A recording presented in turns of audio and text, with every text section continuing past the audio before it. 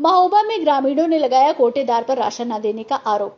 पूरा मामला विकासखंड पनवाड़ी के कोहनिया गाँव का है, जहाँ पर कोटेदार कमला पथ पर ग्रामीणों ने यह आरोप लगाया है कि कोटेदार आठ दिन पहले राशन कार्ड ले लेता है और अंगूठे लगवा लेता है। इसके बाद जब हम राशन लेने जाते हैं तो कह देता है कि राशन खत्म हो गया।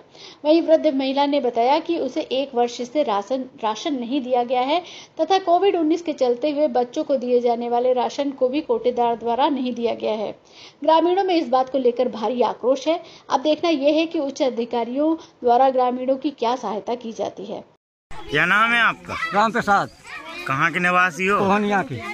क्या समस्या है? तो सब गल्ला नहीं देता कोटा में जाता कहते कि दारू पी के बैठ जाता कहता कागज़ फाड़ देंगे तुम्हारा। यहाँ आप जहाँ जहाँ जाना है जैसे उसका कहना सो कहो हम नहीं देंगे गल्ला।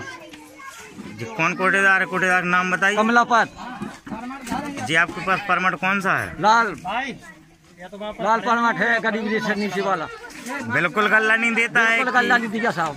अब तक नहीं दिया है? अब तक नहीं दिया है।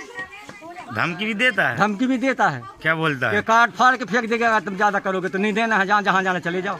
अच्छा ठीक है। क्या नाम बेटा तुम्हारा? कहाँ के रहने वाले हो? क्या समस्या है? क्या बात है? कोटा नहीं देते। गल्ला नहीं देता तुम्हें? क्या बोलता है? हम नहीं दे अच्छा ठीक।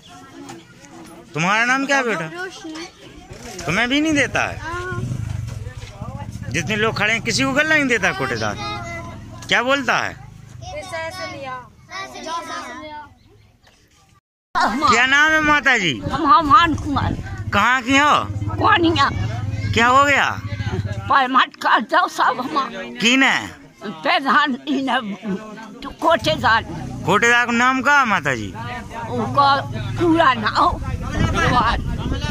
और लड़का को नाव का नाम है हैं? का हमारी तरफ़ देखो आप। क्या बोलता? क्या बोलता कोटेदार जखन लखा तुम्हें नहीं हम ना है देता डेढ़ साल डेढ़ साल भैया रे में कुछ नहीं मिला। कितने महीने से? पाँच साल काट को जेठ के महीना में। घर नहीं बना रहा? हाँ हाँ। ठीक। है माता जी। लेने जाता है तो कहता खत्म हो गया भाग जाओ यहाँ से। कौन कहता है? कोटेदार कमलापत आपका नाम क्या है? शरीफ खां। कहाँ के निवासी कौनिया। क्या बात है?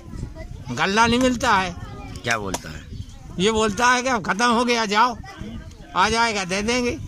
तुम्हारा राशन कार्ड? और नहीं आएगा नहीं देंगे। राशन कार्ड तुम्हारा? राशन कार्ड सब उसी के पास आठ दिन पहले रख देता है साहब। आठ दिन पहले ले जाता?